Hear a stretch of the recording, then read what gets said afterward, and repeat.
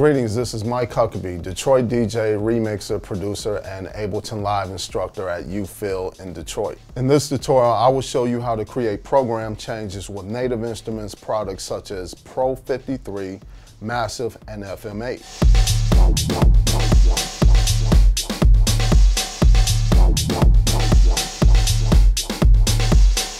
So let's take a look at how to set up a program change for Pro 53.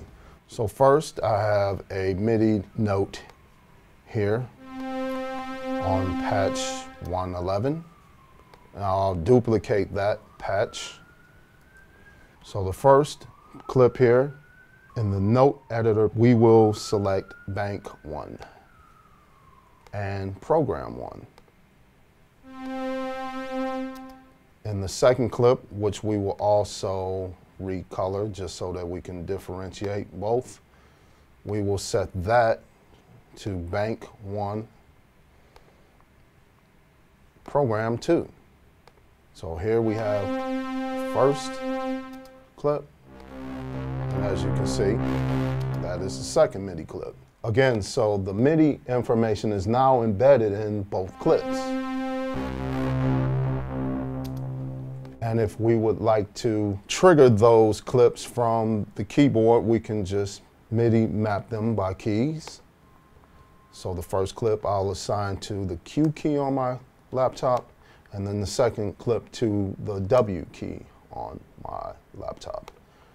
Now, when I hit Q, the first one launches, and then the second one launches to the second preset.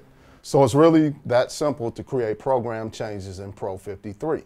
Now this is where program changes above patch 288 get a bit tricky. So if you would like to create a program change for patches above 288, you will need to use subbanks. So here, as we can see, the presets go from 1 to 128, and that equates to patches 111 to 288. But if we change the subbank to 2, program changes will go to 488. Subbank 3 will go to 688.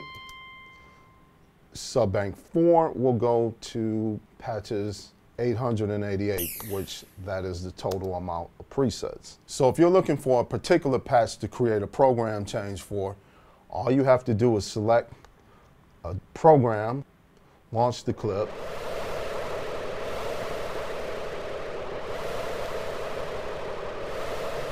and scroll up and down to the desired patch.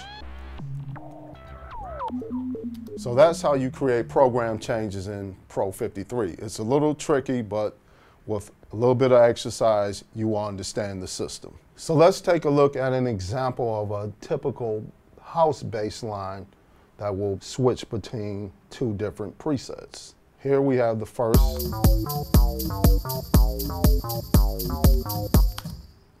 And then we have the same MIDI clip with a second program change. Again, the MIDI information is embedded in the clips, so we could simply bring over these clips to the session view now. And as you can see, these two clips will play back to back with different patches. So I'll just loop both of those.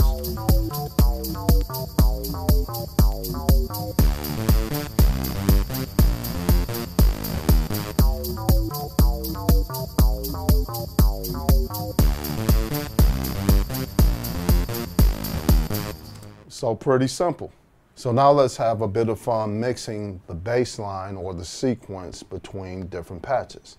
So here we have the bass line. So let's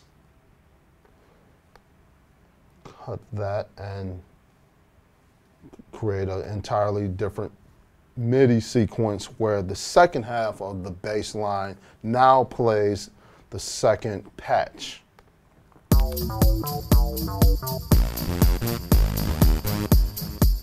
So again, now we have created different segments of the same bass line which will play different parts of each patch. So here we have the first patch playing the first segment of the bass line while the second half of the MIDI clip plays the second patch.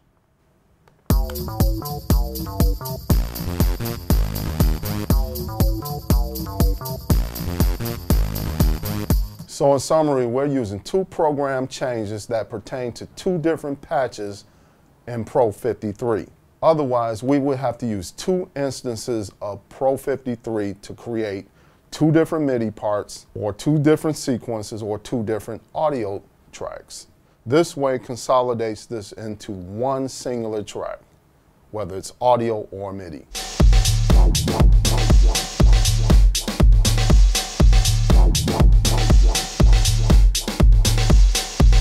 So now let's take a look at how to create a program change for Massive.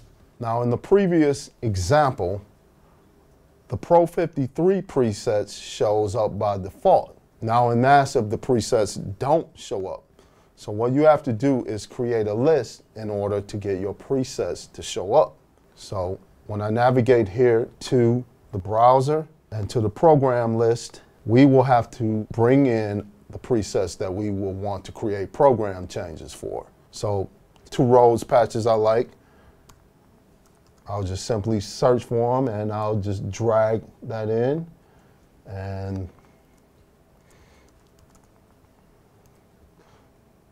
I simply just drag those presets in and I'll save those, my patches And now, as you can see in the plugin window, those two presets show up. So in order to create a program change for now, we go back to the MIDI note editor window and we select bank one, program one for our first.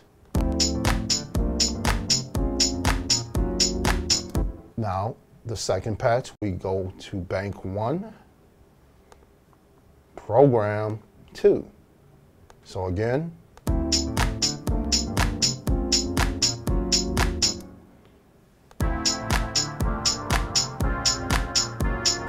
voila, it works. So now the program information is embedded in each clip.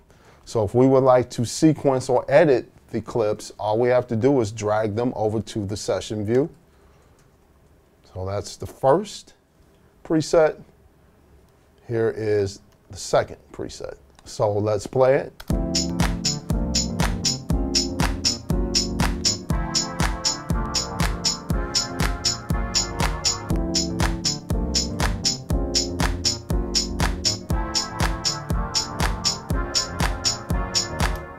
So nice program change.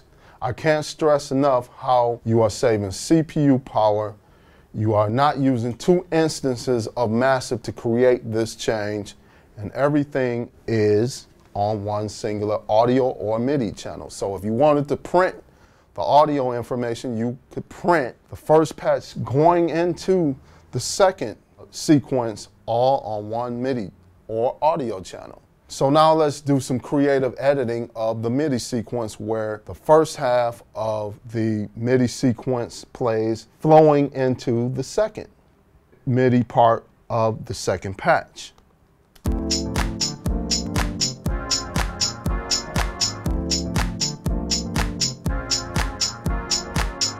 In Deep House, you hear a singular Rhodes sound going all the way through the track. You could create an interesting point in the track by introducing a change or subtle effect by switching the patch.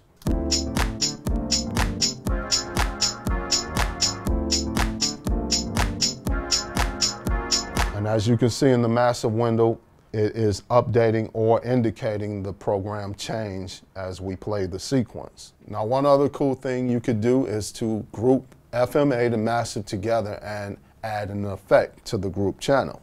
So here we have massive and FM8 and I will shift on both to select them. Then I will control click and select group tracks.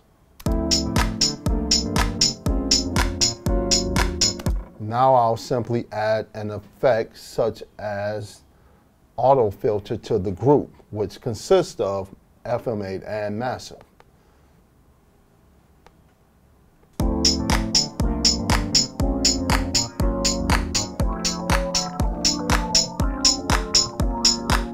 Can hear the auto filter being applied to the group channel, which consists of Massive and FM8.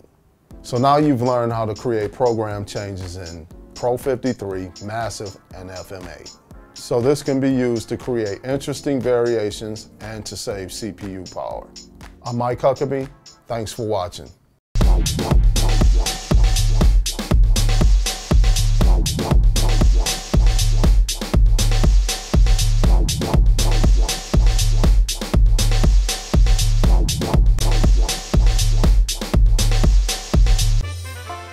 Welcome to DubSpot. We believe in providing you hands on experience right away. Whether you're completely new to music and want to turn the sounds in your head into a musical reality, or you're an experienced artist looking to refine your skills and add new tools to your arsenal, we're ready to meet you at your level. For students of all ages, all levels, and all styles of music, DubSpot is here to help you achieve your goals. With course offerings both online wherever you are and at our school in the heart of New York City, we are ready to guide you through the next phase of your musical transformation. Whether you want to produce music, DJ, or do both, you've come to the right place. Come explore DubSpot for yourself, become a part of our community, and make music.